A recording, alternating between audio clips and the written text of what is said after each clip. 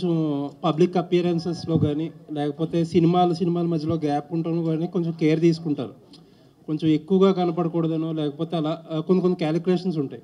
మీరు ఇందాక మీ స్పీచ్లో చెప్తున్నట్టు మూడు సినిమాలు ఈ సంవత్సరం ఆల్రెడీ ఇప్పుడు నెక్స్ట్ మళ్ళీ మూడు సినిమాలు నాలుగు సినిమాలు రెడీగా ఉన్నాయి సెట్స్కి వెళ్ళడానికి అయ్యింది.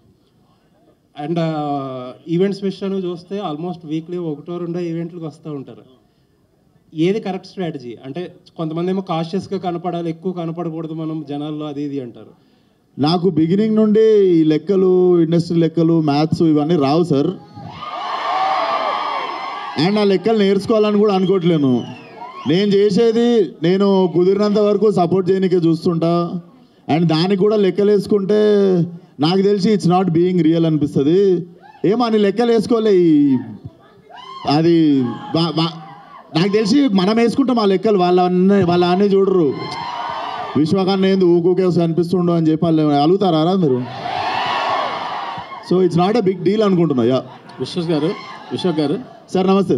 గత ఐదారేళ్ళు ఐదారు సినిమాల నుంచి మీరు ఒక మంచి డిఫరెంట్ సినిమాలన్నీ సబ్జెక్టులన్నీ ఎంచుకుని సార్. సినిమాకి ఒక సినిమాకి మ్యాచ్ లేకుండా చేసుకుంటూ వస్తున్నారు. సార్ రీసెంట్గా గ్యాంగ్స్ ఆఫ్ గోదావరి కూడా మంచి సార్ సినిమా అయింది.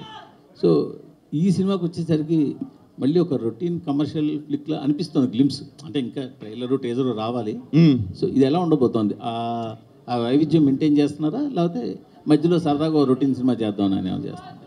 రొటీన్ సినిమా రొటీన్ సినిమా అని అయితే నేను ఏ సినిమా ఒప్పుకోలేదు సార్ ఇప్పటిదాకా. ఏంద్రా?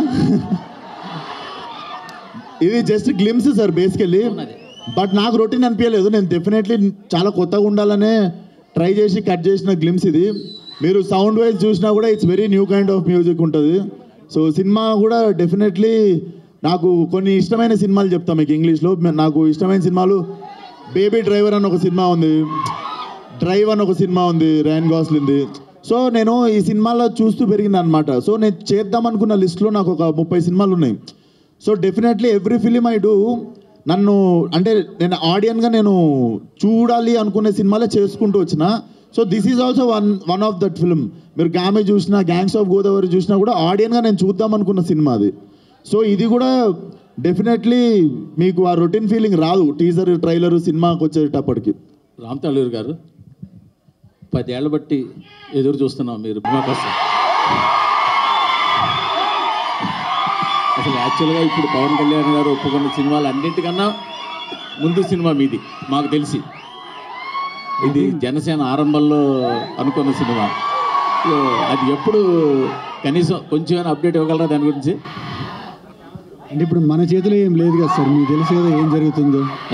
అంటే మీ సైడ్ స్క్రిప్ట్ మీరు సురేందర్ రెడ్డి గారు స్క్రిప్ట్ లాక్ చేయడం కానీ మిగతా ఆ వర్క్ అంతా మీ సైడ్ ఉంటుంది కదా? నా సైడ్ వర్క్ అంతా అయిపోయింది సార్ స్క్రిప్ట్ లాకింగ్ అయిపోయింది. పూజ అయిపోయింది అన్నీ అయిపోయాయి. ఇక నెక్స్ట్ అంతా ఆయన చేతిలో ఉంది. ఆ, కలిశారా? ఈ మధ్య కలిశారా? ఆ, మొన్నే కలిసాను సార్. వన్ వీక్ బ్యాక్ కలిసాను. సినిమాలు చేస్తా ఉన్నారా? అది ఈ సినిమాని కదా సినిమాలు చేస్తా ఉన్నారా?